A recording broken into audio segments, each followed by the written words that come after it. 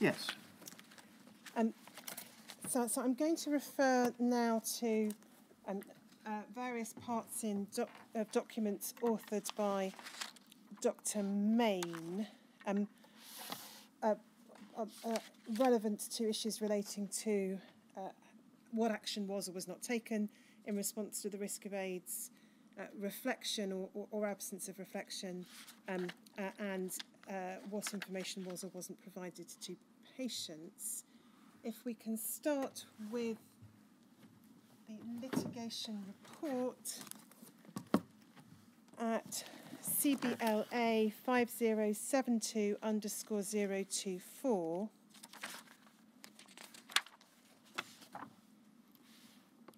And if we go to page 40,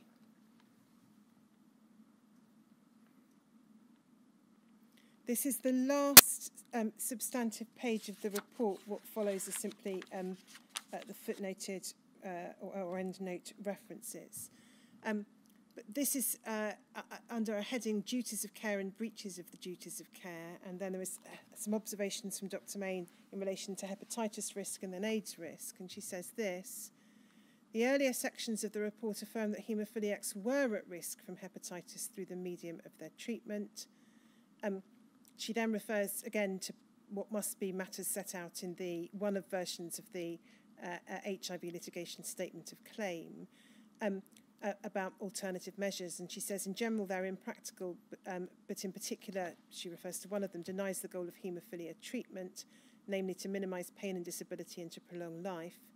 Its conjectural implementation would have restricted the choice of treatment available to the physicians in charge of the patient, the person in possession of all the information regarding the patient's needs. Now, I emphasize those sentences because they may be relevant to uh, any assessment you make, sir, about Dr. Mayne's views as to the patient-physician relationship. Um, well, it's, it, it's um,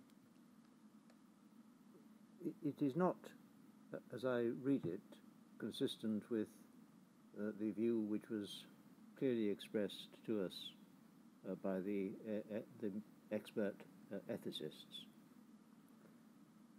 it, it um, who emphasized, I think, the person in possession of all the information regarding the patient's needs, in the broad sense, is usually the patient. Precisely. Although, how best medically to resolve the, the needs is a matter of which the doctor has very valuable information to give in the light of what he understands the individual patient's needs to be. Precisely. Have I, so. have I summarised their view properly? Absolutely.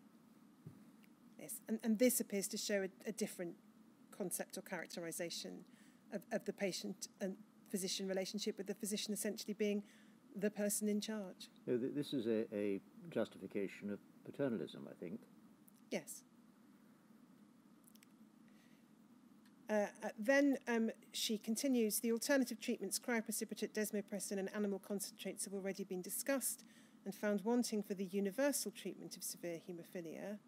Again, pausing there, um, um, it may be that those are treatments that would not um, uh, suffice for universal treatment. It doesn't necessarily follow that they couldn't be used for uh, treatment for um, some, at least, severe haemophiliacs. Um, then she says this the risk benefit ratio of non treatment versus treatment could not be upheld, and I guess that begs the question of by whom in the light of the plight of haemophiliacs in the era before infusion treatment became available, a return to bed rest, immobilizations, and analgesia for joint bleeds would have been untenable. Um, so, strong terms there used by Dr. Mayne um, to characterize what she says was the, the option uh, treatment versus non treatment, and her identification and characterization of the risk benefit ratio predicated, it would seem, upon, at least on one reading of this document, an assumption that that's ultimately a, a, a balancing exercise for the physician rather than the patient. Uh, in relation to AIDS, she then deals with it shortly by saying com comments of a similar nature apply to the paragraphs relating to AIDS. Um, so that's uh, the HIV report. If we then go to Dr. Mayne's main witness statement at WITN 0736009,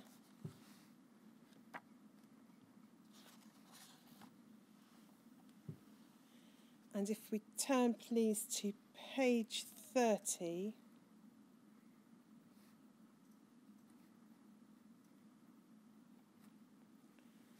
we look at the question at the bottom of the page, and it's a question that the inquiry has posed to most of the clinicians um, uh, to whom it has, um, or from whom it's requested statements, who were haemophilia clinicians practicing in the relevant time.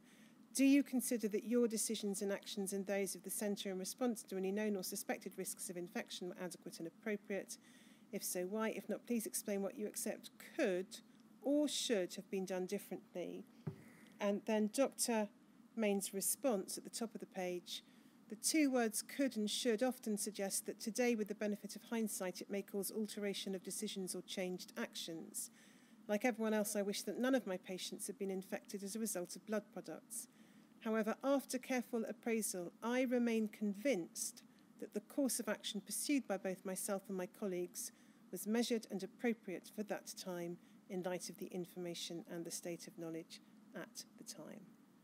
Uh, so that is um, Dr. Mayne's response, and then in answer to the next question, uh, what decisions or actions by you or by the centre could and or should have avoided or brought to an end earlier the use of infected blood products, she refers to uh, that answer.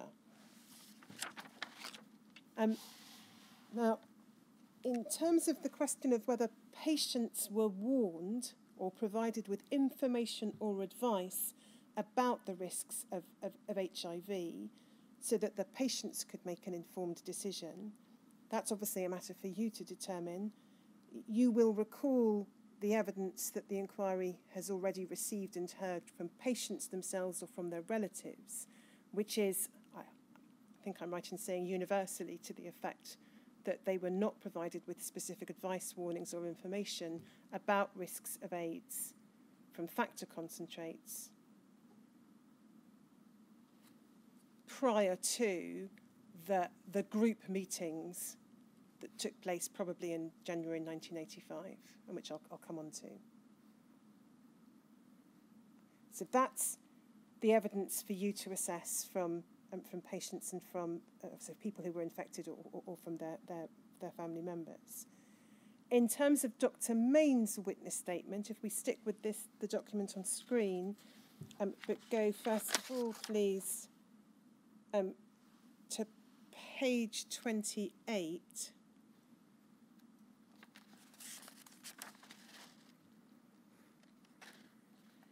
Bottom of the page is the question Did you take steps to ensure that patients were informed and educated about the risks of hepatitis and HIV? If so, what steps? Answer I do not think I can expand usefully to answer this question other than um, as already answered previously. Um, in, in terms of what's previously set out, it's not clear what um, Dr. Mayne is then is there referring to in the statement. Uh, there's little that I can see which talks about the provision of information to patients in the earlier part of, um, of, of her statement. Um,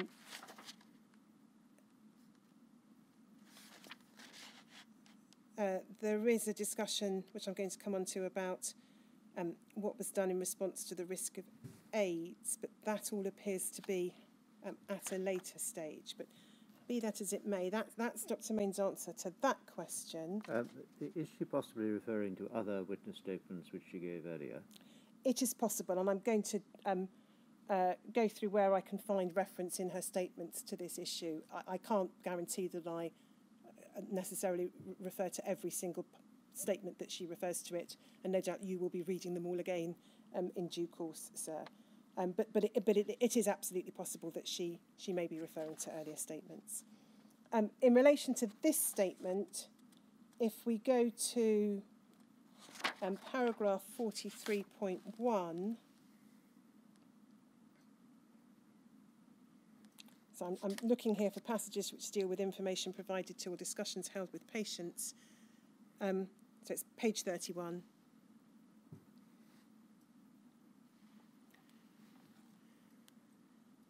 Uh, she was asked about reversion to treatment with cryoprecipitate, and her answer is this. Theoretically, a return to using cryoprecipitate would have been appropriate for some patients. However, it was neither a practical nor realistic option. Following lengthy explanatory discussions during which the possibility of reverting to cryo was raised, I was greeted by an emphatic refusal from the patients concerned. Patients had become used to carrying their concentrate uh, slash pack with them to school, to college, or their workplace. The presence of that pack had become life changing. A return to being dependent on the availability of a fridge freezer and to the lengthy process of thawing and preparing cryoprecipitate was just not acceptable to them. Unfortunately, what that paragraph doesn't tell us is when it is said such conversations took place or what information was provided about risks to enable a judgment to be made by the patient. I should say I don't think we've seen anything in individual statements from people who were infected or, or their relatives which reports any such conversations. Um, um, but, but, but, but assuming for the purposes of debate in Dr. Mayne's favour that she had them, as I say, it doesn't, it doesn't tell us when she had them um, um, and, and whether it was at any stage prior to the group meetings in, in January 1985. Um, if we then turn over the page and go to the bottom half of the page, so this is under a, a series of questions relating to the provision of information to patients. She's asked the general question, what information did you provide or cause to be provided with, to patients with a bleeding disorder about the risks of infection in consequence of treatment with blood products uh, prior to such treatment commencing? The answer is no local leaflets printouts were available. Discussions with patients were held if and when possible. Each patient was provided with information provided by the National Haemophilia Society. There were few occasions when concentrate was given to patients other than those with haemophilia or allied disorder.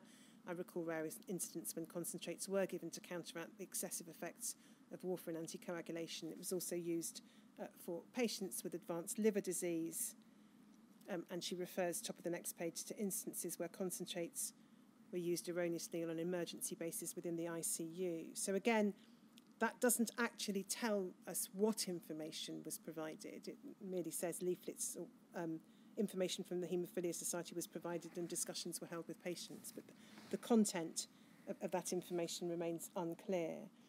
Um, if we go to the next page, oh, sorry, what was you on it? Sorry, stick where we are, Seamus paragraph 47.1, you'll see the question that's been posed of her and by reference to the, the, the um, HIV litigation expert report was uh, picking up on her assertion that patients became aware of the risks of hepatitis during the mid-1970s. She's asked what the factual basis for that is and what discussions she had with patients in the mid-70s. What she says by way of response is an annual meeting for patients, relatives and members of staff was held as part and parcel of the activities of the Northern Ireland group of the National Haemophilia Society.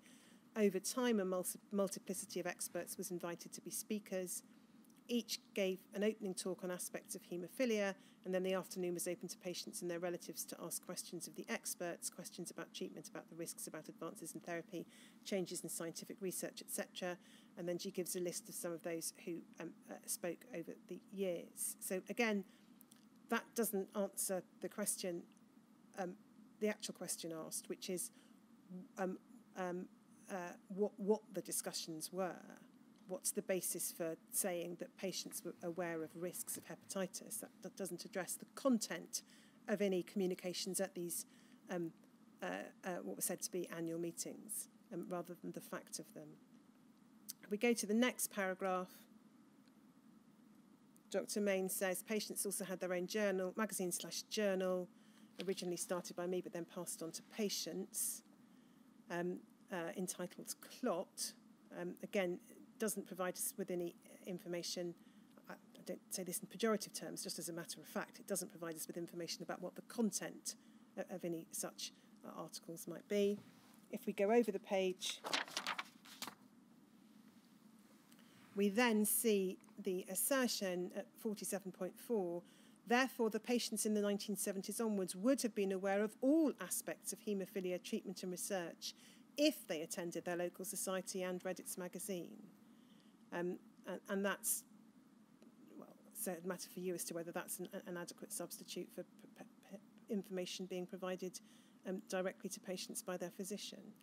Um, if we go further um, down the page, um, there's then a question about what, what information is provided before the commencement of home therapy, um, uh, and there's um, a, a, more detailed answer about the, the process of, of training families in relation to home therapy. Um, um, uh, in terms of risks of infection, what we see is at the bottom of the page, it's just said in the last sentence on the page, at all times, patients were advised regarding the risks of disease, any then known risk of using concentrate, and were encouraged to have discussions anytime they had a problem. And again, there's a sharp contrast between what Dr. Mayne says um, um, and what those who've provided statements to the inquiry uh, say in relation to, to um, being warned of risks. Um, and then we have the question at 50.1 when did you first discuss AIDS or HIV with any of your patients? At this distance in time, I cannot recall the details, but I've no doubt I had informal discussions with the patients at clinical appointments. The minutes of the UK HCDO meeting in December 1984 have been brought to my attention. I note that I attended, however, I cannot recall attending or the meeting itself. I assume that the decision to hold the 1985 meeting, so those are the group meetings held um, for patients in, in, in January, or thereabouts, was influenced by this meeting. It was then decided to have formal meetings. I arranged for three meetings to take place in early 1985, and she refers to those being described in, in her um, uh, earlier um, witness statement. So, um, in, in terms of uh, any dates, we have the January 1985 meetings, which obviously is too late in terms of providing information in advance of treatment or in the course of treatment programs. And then we have the, the general statement that she has no doubt she had informal discussions with patients at clinical appointments. But we're not told what the content of those discussions were. Um, and, and again, um, the, the evidence from individual patients or, or their family members is, is to the effect that information about the risks was not communicated to them. Um, so that's um, uh, uh, what she says in her statement about information provided to, in, in that statement about information provided to witnesses, uh, to patients. Um, uh, if we go back in this statement then to page 28,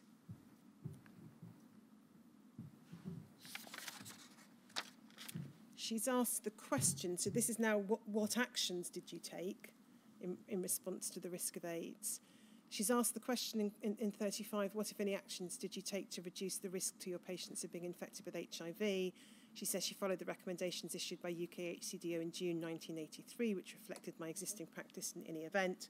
We've already explored that. That's the June 83 letter and the UK HCDO recommendations in relation to children, mildly affected patients, and um, previously untreated patients. And then she's asked the question Did you continue to use blood products to treat patients after becoming aware of the possible risks of infection of HIV? Why? And she says this Within my response to question 33, I've indicated that I continue to use concentrates. Even with the benefit of hindsight, I cannot envisage otherwise. In reality, the choice was stark stop treatment with concentrates with all the risks and disruption that would entail for patients, or continue with treatment in light of the information then available. So, in common with some others who provided evidence to the inquiry from a clinical perspective, or, or from some of the material we've seen in contemporaneous documentation, the choice is posed as this stark choice between between essentially no treatment or continuation of treatment, um, um, ra rather than a potential spectrum of choices.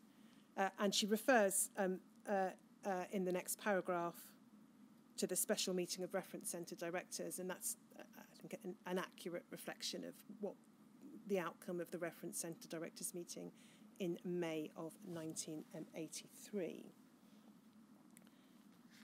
Um, I should draw your attention to a previous um, set of answers on page 26.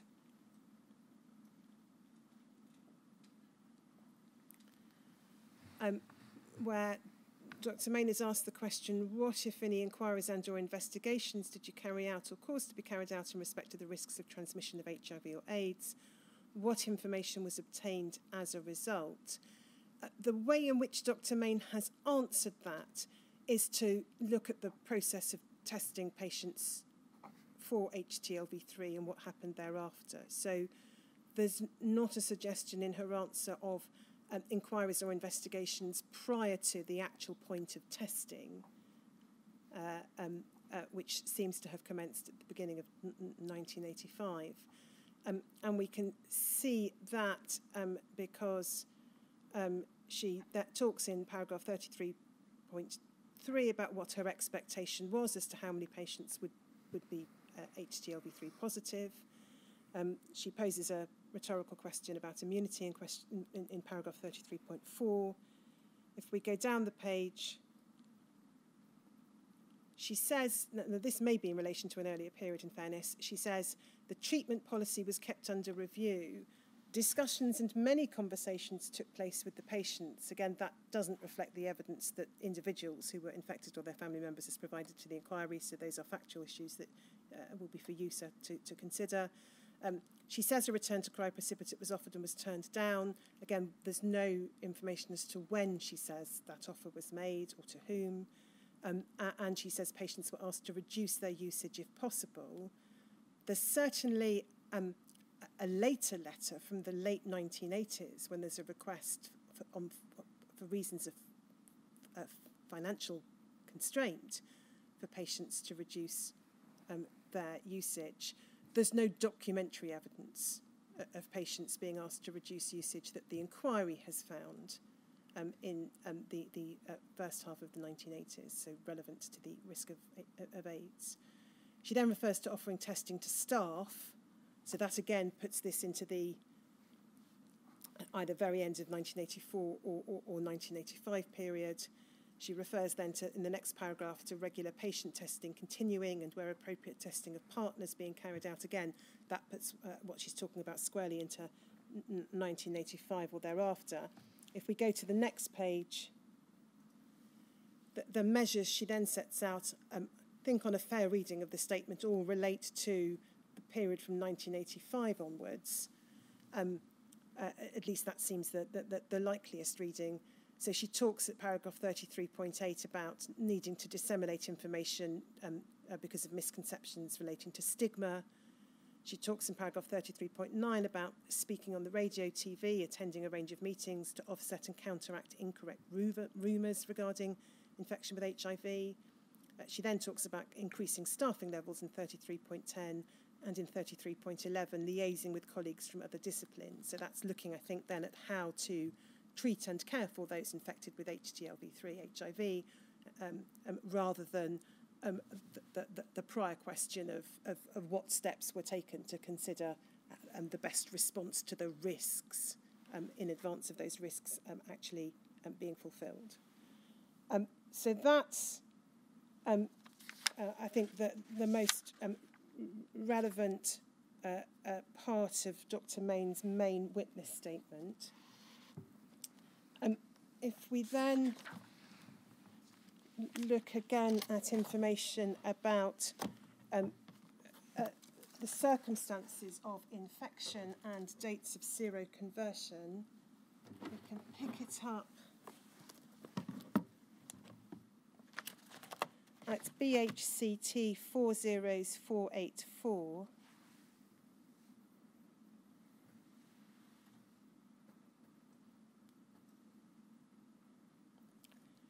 Um, this is a letter uh, dated the 15th of October 1985. It's from the Regional Virus Laboratory at the Royal Victoria Hospital to Dr. Mayne. And it says, We've completed the retrospective study on our stored sera from your patients.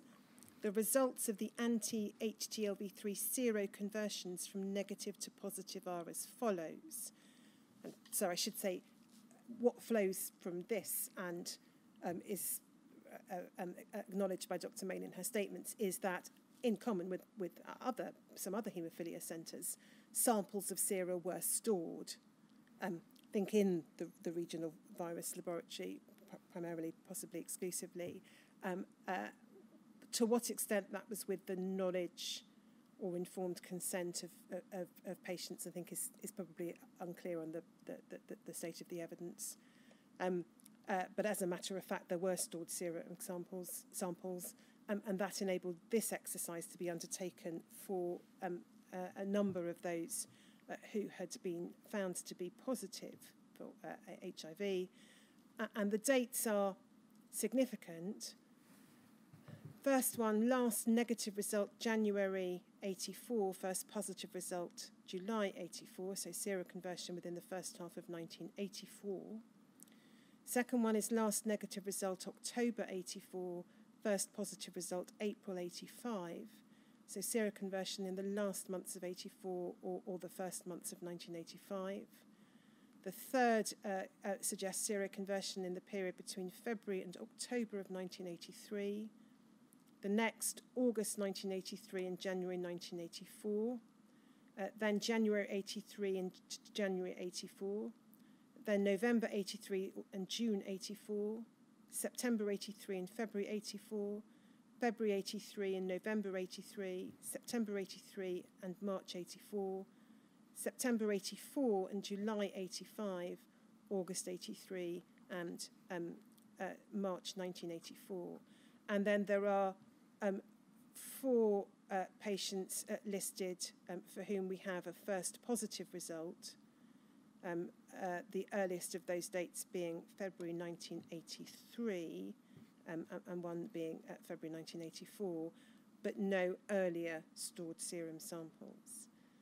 Um, uh, and so what, what we can see um, from that uh, list is no apparent seroconversions prior to 1983. The, the earliest date of a, of a last negative result is January 1983, and the majority of the last negative results are later than that. And that obviously raises uh, the question of whether given what was known in late 1982 and by the beginning of 1983, um, these were avoidable seroconversions.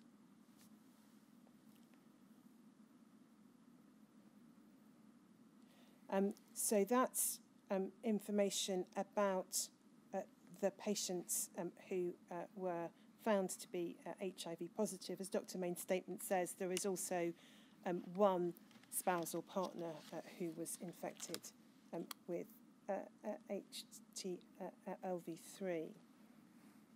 Um, you'll recall Dr. Mayne's statement saying that there were no children who seroconverted. Um, however, that might depend upon one's definition of a child. Um, if we go to BHCT four zeros eight four six underscore zero zero four.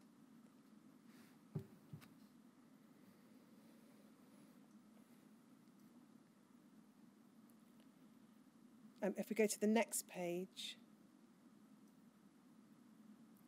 so this is a letter um, um, from Dr. Mayne to Dr. Machin in the hematology, hematology department of the Middlesex Hospital, 18th of October 1985. Uh, obviously, the patient details are redacted, but you can see, sorry, if we go up the page, date of birth is, is 1971. This is a letter written in 1985, so um, it refers to a 14 year old. Um, for, for the avoidance of doubt, I confirm it does refer to one of the uh, patients listed um, in that letter we looked at a, a few moments ago. Um, and we can see from this, um, it, it, refers to a moderately severe haemophiliac, so not severe, moderate, uh, moderate severity. Um, and if we go to the bottom of the page,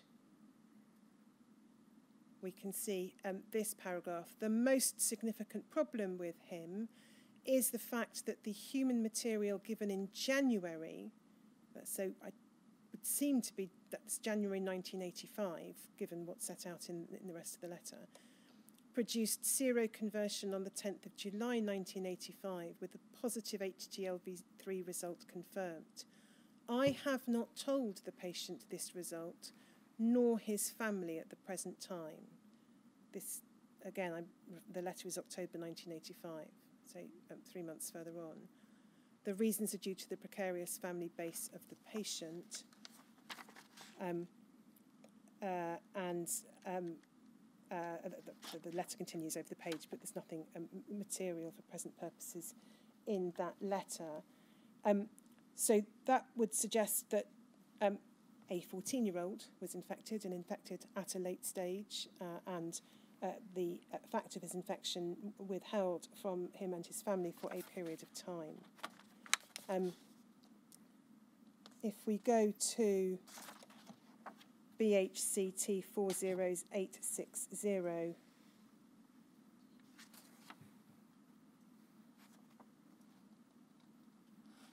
and go to the next page. Again, this is picking up upon the suggestion in Dr. Mayne's statement that there's no, no child was infected. This says surveillance of paediatric HIV infection and AIDS follow up. Um, uh, and if we look um, uh, um, further down the page, we can see has the child received treatment for HIV? Yes, and we can see that the child's received AZT. And if we go over the page, sorry, we're back to the first page, I should say.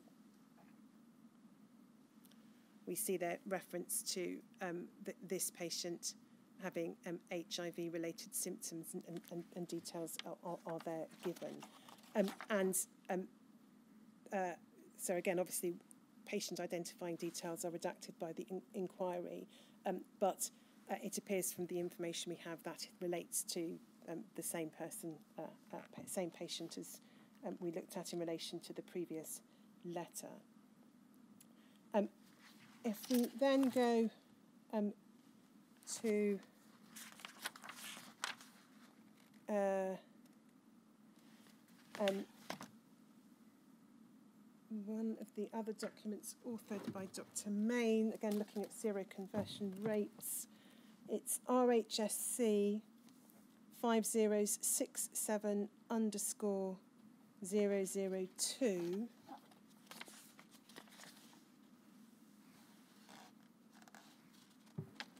We've looked at this previously. Um, it's Dr. Mayne's March 1988 report. We just pick up on something she says on page four. Under the heading HIV positivity at the bottom of the page, uh, she says the HIV antibody positive rate for severely affected patients in the UK is 54%, uh, with some centres having ratings of 75 to 80%. I think we've seen 44% cited elsewhere, but um, in any event. Um, in Northern Ireland, only 16 patients have been shown to be antibody positive. This is equivalent to 25% of the most severely affected patients and 16.5% of all treated patients in the province. And then she goes on, and we, we looked at this yesterday, to suggest that that may be explicable upon the basis of the policy of using um, a single concentrate. Um, and I've explored the extent to which that was in fact adhered to um, uh, uh, in, in, practical terms yesterday.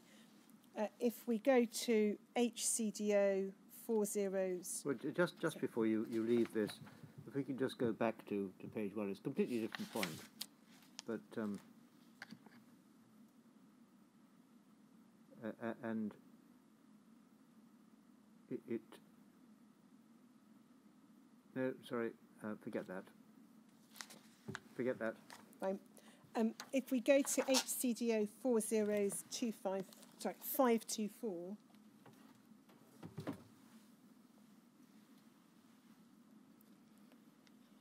Um, th these are the minutes of um, a meeting of the AIDS group of haemophilia centre directors. That was a group established, I think, at the beginning of 1985. This is the sixth meeting, October 1985, and Dr. Mayne was a member of that group.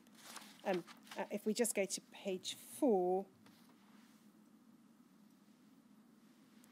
we can see at the bottom of the page Dr. Mayne um, making the same uh, point, suggesting that the incidence of positivity in her patients was low, probably because all her home therapy patients were kept on one product. And as I say, that doesn't doesn't appear to be correct, although um, um, the, the, the, the individual patient data we have doesn't clearly distinguish home therapy and hospital therapy.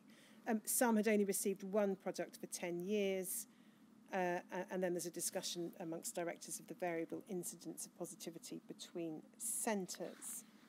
Um, it, it's not, um, I think, clear that it's accurate to say that the patients, if, if this is what Dr. May was saying, that the patients who sub seroconverted were all severely affected patients.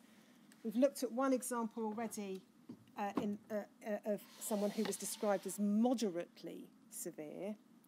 Um, if we then go to um, BHCT 40612,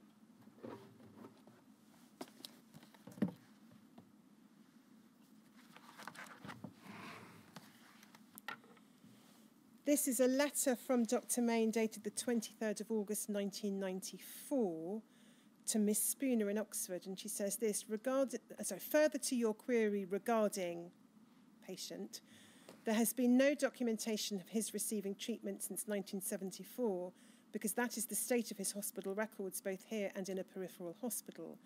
Agatha Christie, or otherwise known as Dr. Elizabeth Mayne, found out that he'd been given two bottles of Edinburgh Factor 9 on the day his niece was born. It was never written down by the kind doctor who administered the dose, and it led to much consternation for the patient, his family, and myself. The sad and ironic aspect of the whole performance was that the patient did not need the Factor 9. He has mild Christmas disease and does not suffer from hemarthrosis. The doctor who saw him either forgot or did not realise these facts and he now sadly has full blown AIDS. Um, again, the, the, the, the, patient cross referencing between the documents available to the inquiry identified there it is, it would appear, one of the patients listed in that letter, that list of, of, of seroconversions. Um, so there we have uh, a, an account of a patient with mild haemophilia B. Um, uh, even on Dr. Mayne's account, having been given factor nine, not, I should say, according to this letter by Dr. Mayne, but, but, but, but uh, elsewhere, um, uh, um, uh, completely unnecessarily. Uh, uh, it's not clear from this or, or from the other material the inquiry um, has, I think, um, uh, where, which hospital that treatment um, was, uh, was administered at. Um, but, but obviously raises an issue that we, we, we've seen explored elsewhere in relation to, to other centres within the United Kingdom of, of systemic problems with, with hospitals which were not um, full haemophilia centres or doctors who were not um, uh, uh, uh um, knowledgeable uh, about risks, uh, providing treatment where it wasn't required.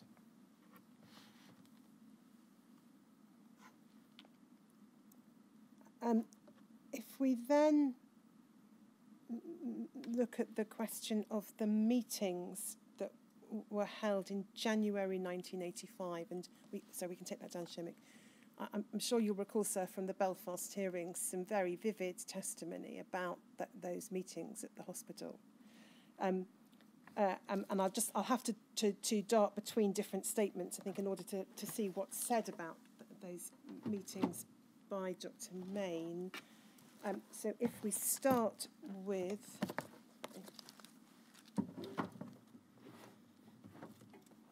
WITN 0736001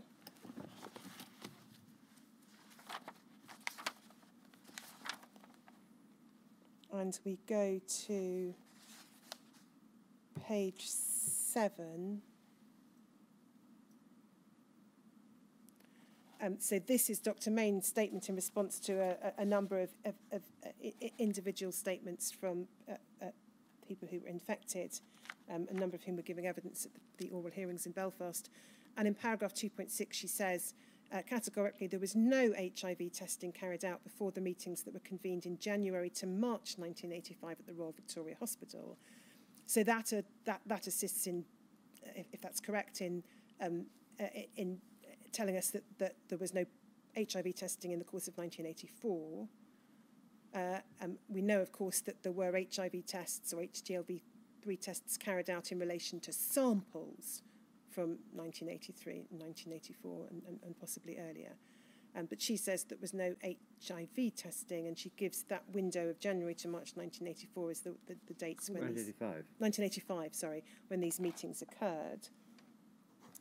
Um, if we then go to WITN 2658002,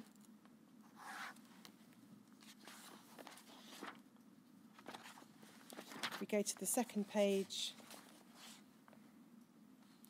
we see that this is the uh, report on entitled A Synopsis of Haemophilia, Mr. Malachi Devlin, and we looked at uh, and explored the evidence relating to Mr. Devlin um, in the uh, oral hearings in Belfast.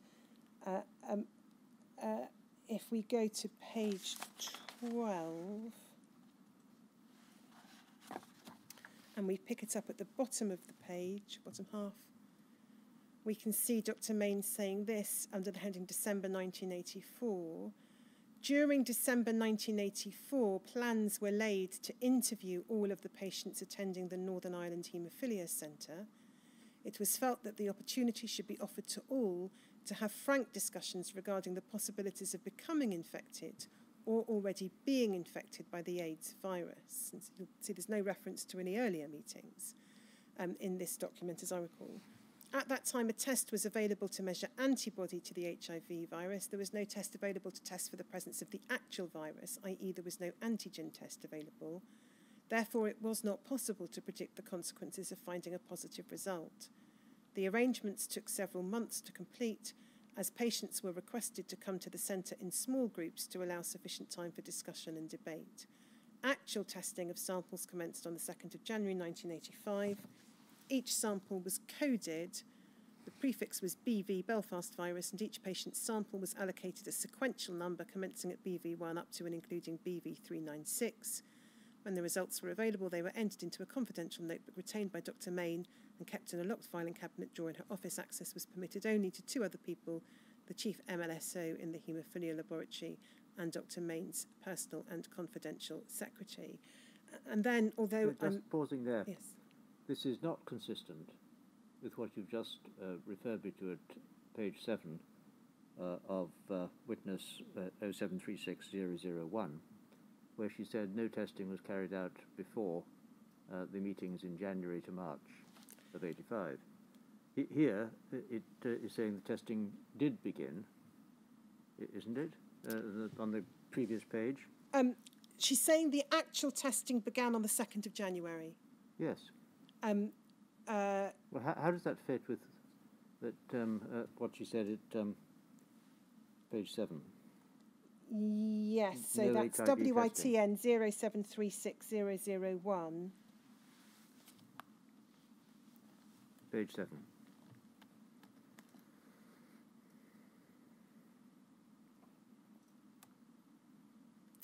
Uh, well, so unless um, there was a it meeting may on just the be 1st relating of to January. Mr. Kirkpatrick, but it seemed to be more generally expressed Yes.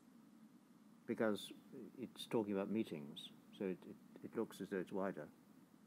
No HIV testing carried out before the meetings in January to March 85, i.e., none before March, 80, March 1985 meeting. Yes, well, that, that's that's obviously not consistent with, with saying that the actual testing commenced on the 2nd of January 1985. I just no. wanted to confirm that yes. that was so. Yes. yes. Thank you.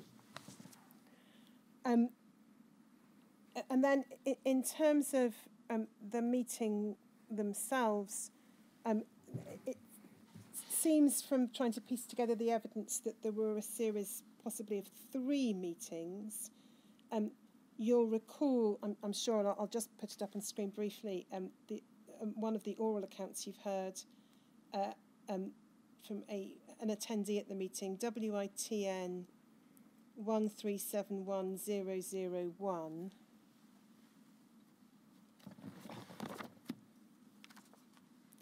This is from the statement of, of Louise Marsden.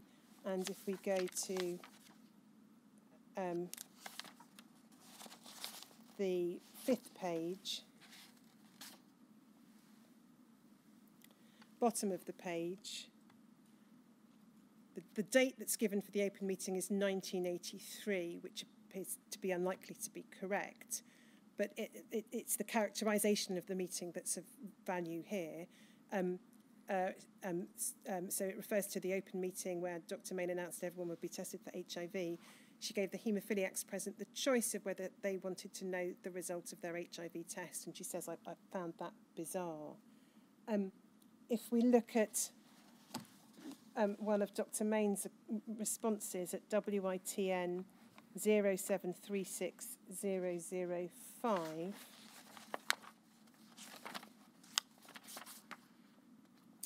And if we go to, so this, this is in response to um, the Marsden's statements. If we go to page 10, I think it is, um, you'll see um, uh, Dr. Mayne giving um, this description uh, in this statement, she says three open meetings were held regarding the problems of HIV infections. Two were held within the confines of Ward 37, Royal Victoria Hospital.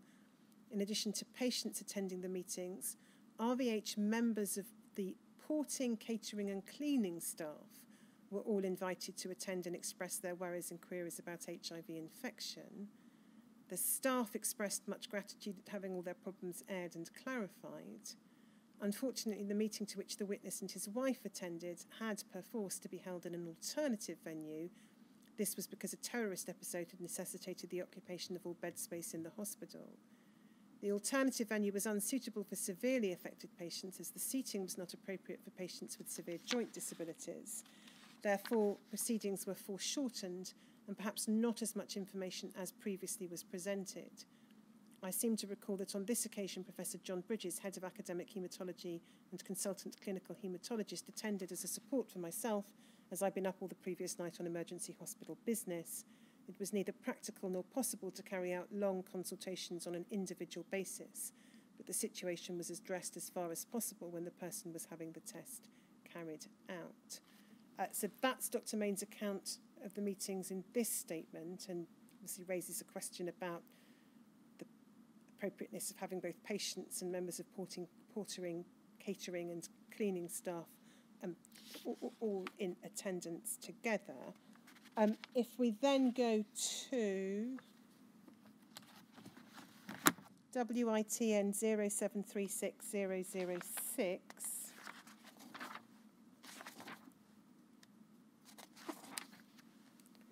this is another of Dr. Mayne's um, witness statements. Um, uh, and if we go to the last page, please, Shomik. Um, Dr. Mayne says this. Later within the deposition of Louise Marsden, she referred to the 1985 HIV meeting as bizarre. She was completely correct in her description, I agree. The explanation is as follows. I'd been up all the previous night dealing with the unclottable blood of a patient in the intensive care unit. The hospital was full to capacity, therefore the normal venue for the meeting was unavailable, it had been commandeered for emergency bed space. Um, I think the full capacity was related to an increased incidence of influenza and pneumonia. That's a different reason. It may be nothing turns on it, but in any event, um, I just observed that. However, the only available space for the meeting was the historic old surgical extern theatre. It was unsuitable in every respect. The space was confined, the seating was unsuitable for disabled patients, and the general impression inhibitory. It was not possible to cancel the meeting as transport had been arranged for the disabled patients, and others were coming from far afield, and she gives some examples. Professor John Bridges attended as support. He was concerned that I might pass out from fatigue. I have not discussed this aspect of the meeting previously, as it seemed irrelevant. However, in view of Louise Marsden's apposite description, I thought I should enlarge on the detail to the inquiry. Um, uh, and um, then uh, if we go to WITN 0736001,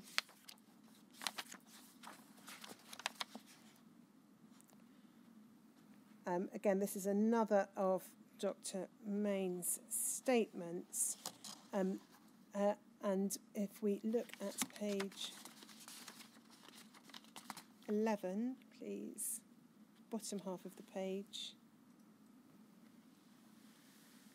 Um, th this is in response to a recollection of the meeting described by Mr. Um, Hamilton, um, and Dr. Mayne says this when the possibilities of the viral infection became known in 1984 towards the end of that year, meetings were planned to meet with all patients who'd received treatment.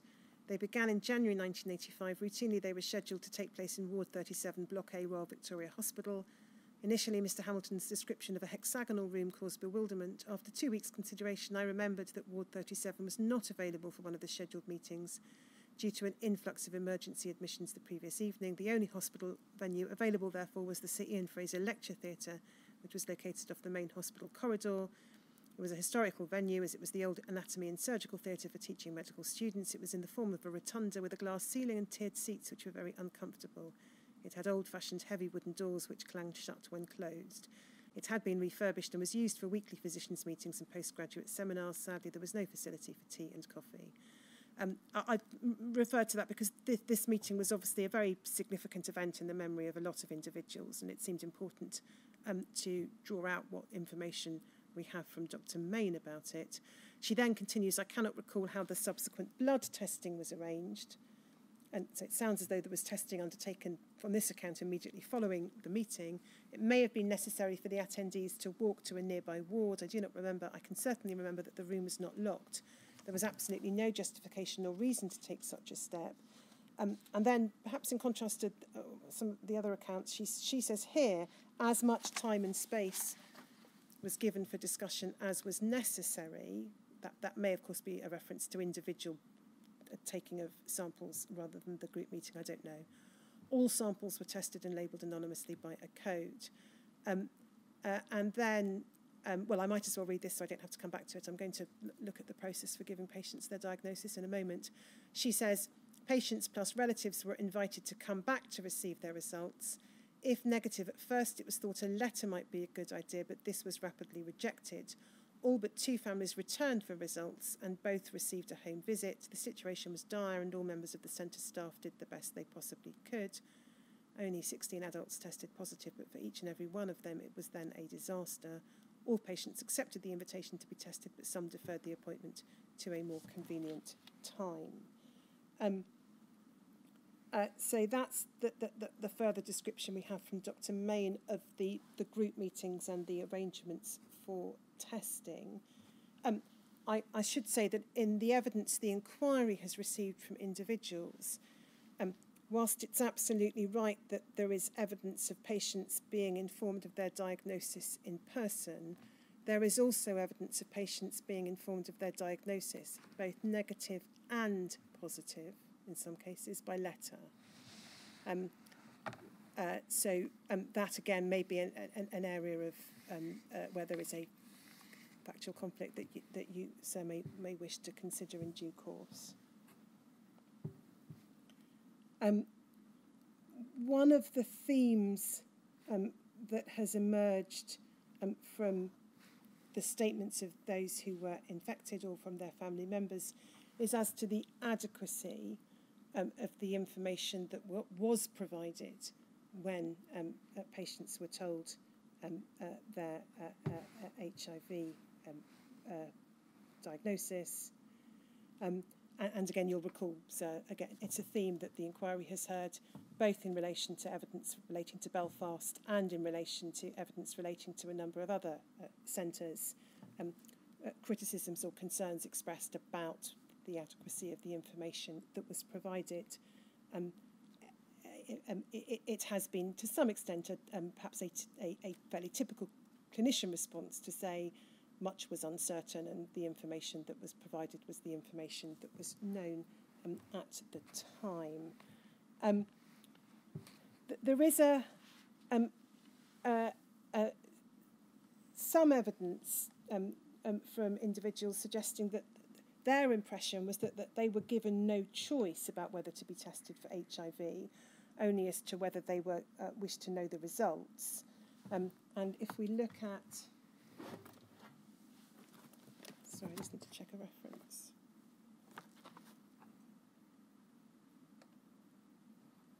Um, WITN 2658009.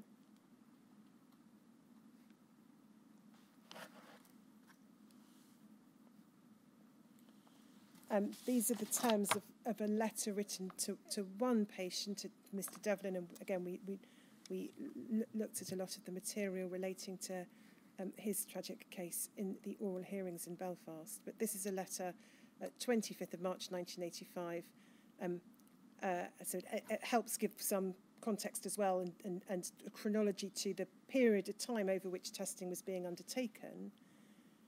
This is late March, uh, and Dr. Mayne is writing saying um, we have serum for the antibody to the virus.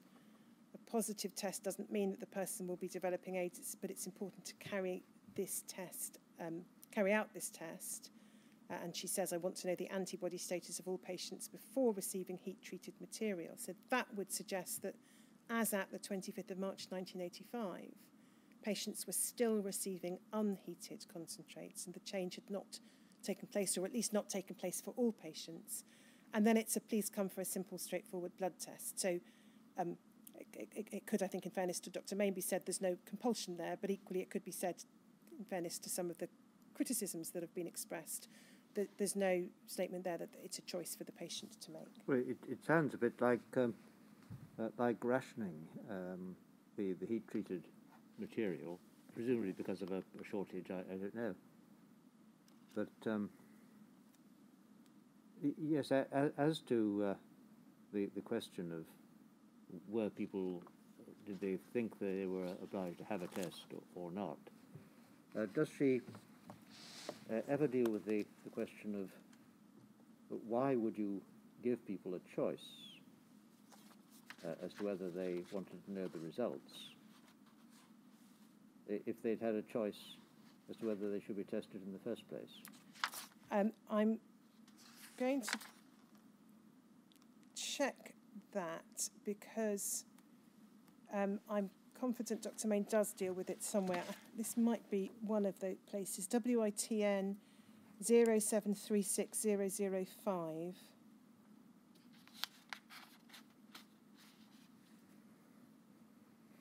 Uh, if we go to page five, we look at the bottom of the page, uh, you'll see this um, is in response to an individual witness statement um, um, and references made to, to the witness W1371 statement describing the meeting um, and the witness saying that Dr. Mayne said all haemophiliacs in the room would be tested for HIV because she was erring on the side of caution. And so Dr. Mayne's invited to comment on, on the patients only being given the option to choose whether they or not they wanted to know the results of the testing. This is Dr. Mayne's response. HIV testing was offered to all those who had been in receipt of blood factor concentrates. The witness is correct because in carrying out such widespread testing, it probably was erring on the side of caution. However, at the time of actually testing, the patient was invited to give consent. And if they had any difficulty in doing it, the test was easily postponed until a future date or not carried out at all in accordance with the patient's wishes. Several patients postponed testing, but none refused. It seemed only right and proper that they should be given the opportunity to know or not know the results. One of the secretaries took a note of the names of patients who did not wish to know the results, and then she, she deals with the individual patients um, in, in question, um, or the individual patient and, and, and his uh, spouse in question. Um, uh, um, and then I should, I think, perhaps point out the next answer. This is dealing with the more general question um, about uh, uh, um, the suggestion that not sufficient information was provided about HIV. At 2.10.1, Dr. Mayne's response is each patient, when tested, received the maximum amount of knowledge available and was offered appointments at any time to discuss important issues, important issues relating to HIV. So again, it doesn't really tell us what information was routinely provided to patients at this point in time. I can, I can check whether any more detail is given elsewhere. But that's Dr. Mayne's response in, in this statement to, to um, the question that you raised, sir. Yes, it doesn't, doesn't really uh, uh, uh, uh deal with the point uh, at all, which is really a question of argument, um, uh, I suspect. and it may simply be that um, was offering people not only a, a, test, but if they didn't want to know the result, they didn't want to know the result. But it seems rather curious that you'd expect people to go for a test without knowing that they, without wanting to know the result one way or the other. Yes, I'm not. I, I can't. But that, that's a, it's just an observation, yes. and, and, it may simply be misplaced because of the nature of the times and, and the, the difficulties that she was facing. Um, but if um, I can be addressed on that in due course, if it's uh, if it's regarded as of importance. Yes, um, I should, I think, probably just refer you to two other passages in Dr. Mayne's other statements that deal with this issue. I don't think they cast any further or additional light um, on, on, the matter, but, but, but for the sake of completeness, if we go to WITN 0736001,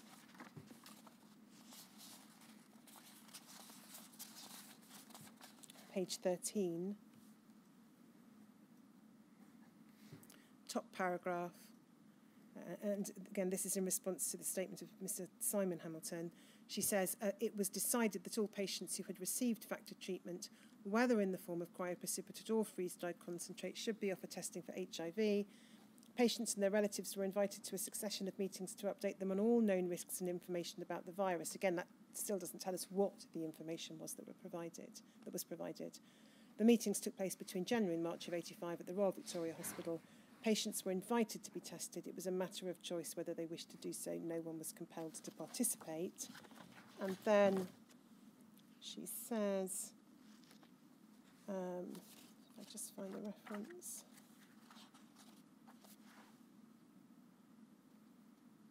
Um, WITN 0736009, page 35.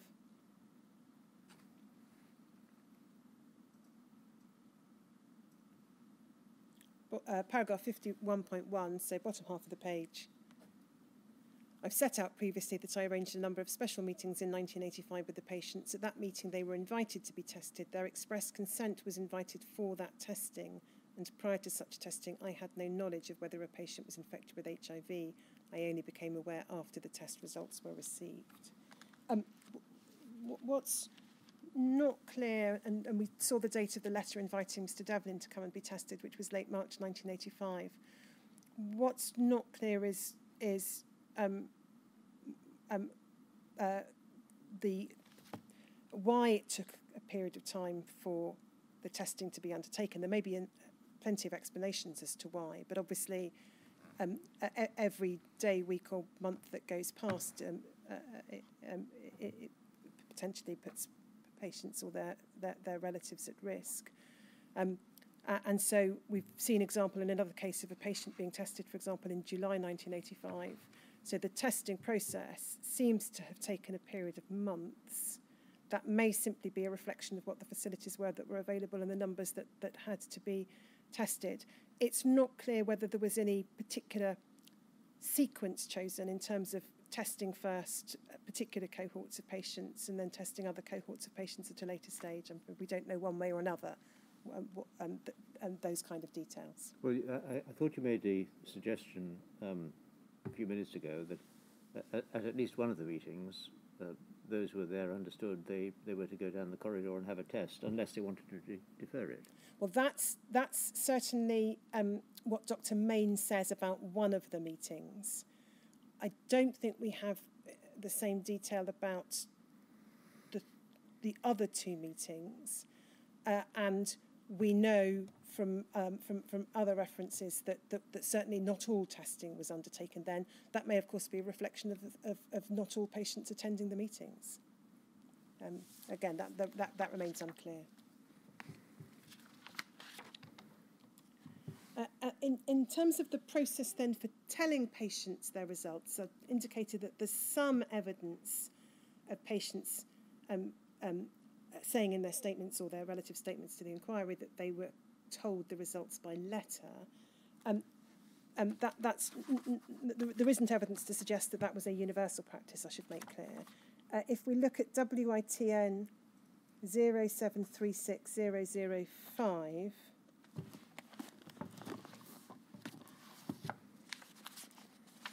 and we go to um, page 10, please. Um, if we look at the bottom half of the page, paragraph 3.10.1, now this is in relation to relaying a negative test result. There was no intention to, um, so the, the question is, the, the, the criticism that Dr. Mayne's being asked to respond to is the appropriateness of informing a witness of their test result via letter. Dr. Mayne's response is there was no intention to relay this information, but the secretarial staff had a difficult job to complete, and they would have assumed, despite the clipboard entry, I think that's a reference to where she'd taken information about how people wanted to be told their results, but I may be wrong, that you would be pleased to know the negativity of the result it was the policy of the centre not to send positive information via a letter. Either patients were told when they came to the department or else I myself visited them to discuss the positive results. Um, you'll recall, again, we looked at this during the Belfast hearing, but uh, I think it's probably worth referring to, um, again, in the context of the issues we're currently exploring. Um, it was a letter BHCT 40896.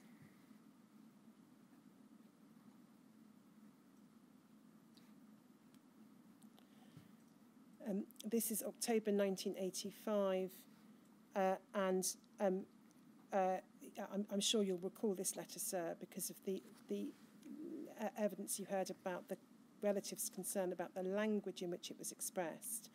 So this is not a communication of the outcome of the first test. It's a communication of the outcome of the investigations into dates of seroconversion. You'll be glad to know that you became positive sometime between February 1983 and October 1983. With no sample between those two dates, I imagine you became positive sometime during the summer of 1983. Therefore, you've more than passed the two-year point. Um, uh, and um, uh, I should then show you what Dr. Mayne said in response, because she accepted that the use of the word glad would seem to be appalling.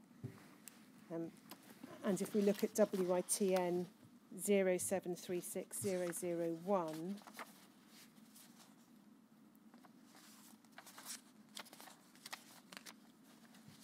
and we go to page 10, paragraph 4.2, this was Dr. Mayne's account of telling this particular patient uh, how she communicated the result to him, um, and that she did so in person by visiting his house. Um, and then she explains the, towards the end of the paragraph the context of the, um, the letter and what she says the seemingly appalling use of the word glad, um, uh, um, because um, she says it was in response to him asking uh, if, uh, if she could find out exactly when he was infected and him saying he would be glad if she could find out and let him know. So um, th th that, that's communication by letter of seroconversion dates. It's obviously not the, the same as communication by letter of the, uh, um, the positive result itself. But as I say, there is some evidence the inquiry was received of which suggests that that was the position. Um, we've already looked at a letter in relation to one patient, the patient who was um, 14 or thereabouts, um, uh, and um, the fact that that patient and the patient's family had not yet been told uh, their um, uh, uh, uh the the positive HTLV3 uh, result. Um, if we look at BHCT 40846 underscore 003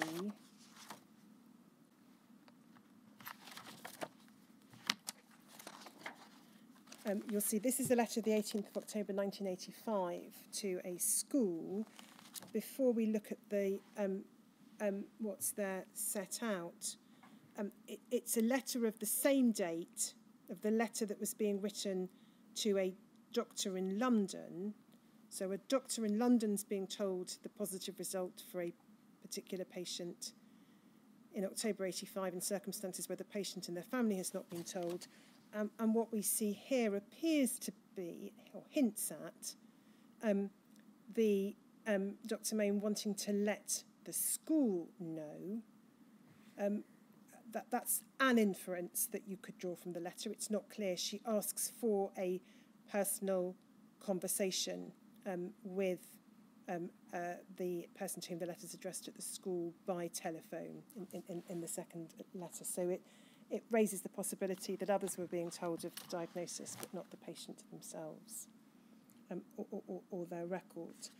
Um, we, we can take that down. Again, um, there are a number of different accounts the inquiries received. Um, th- there are patients who have no recollection. There's a patient who has no recollection of um, of um, being tested or um, being told of the test result, which was negative, uh, only discovering being tested on um, receipt of, of medical records. Um, uh, um, again, and to try and get, get some understanding of the dates when testing was being undertaken, if we look at WITN 2607004,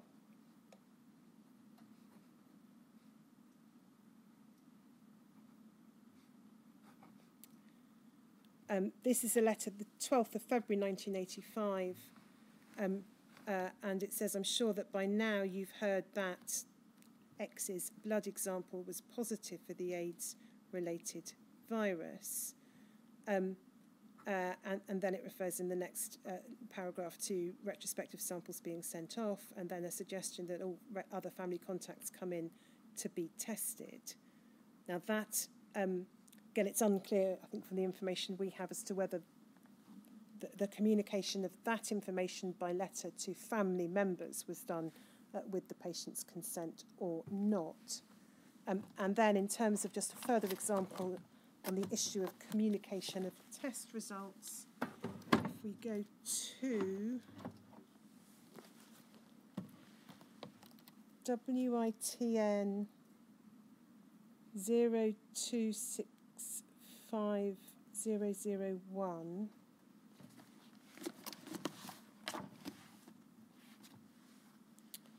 Um, this is, if we go to page 14, I think, and we pick it up in paragraph 50, says this In 1985, prior to telling me that I was HIV positive, Dr. Mayne had come to the house when I wasn't there and told my parents that me and my two brothers had HIV. When I went to see her, I told her I'd not wanted my parents to be informed, but she said that it was better for them to know. Um, so, um, uh, obviously, highly material evidence there um, in relation to uh, HIV um, diagnosis. Um, and then, uh, if we how look. Old, how old was that? Uh patient? They were an adult. Um, in 1985, would have been in their 20s. I, am afraid I don't know the, the, the brothers' ages. Um, and then, if we go to WITN 2658008.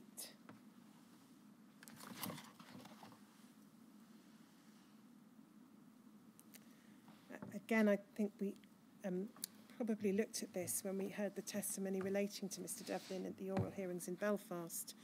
Um, um, but again, it just provides a little further light on the, the, the process of telling patients their results. So this is August 1985 to a GP um, the problem of testing for response to the AIDS virus is well known throughout the media, and my policy has been to ask each patient when they're being tested if each individual wishes to know the result or not.